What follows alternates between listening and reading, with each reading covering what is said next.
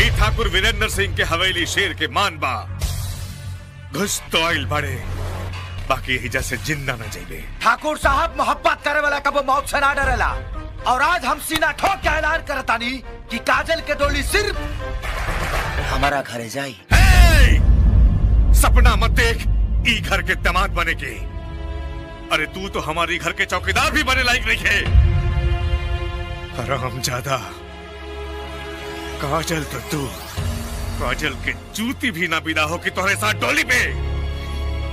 ससुर जी, गुरूर छोड़ दो। अगर हम चाहे ना तो तोहरा आजे बेटी के फुर्र उड़ा के लेके चल।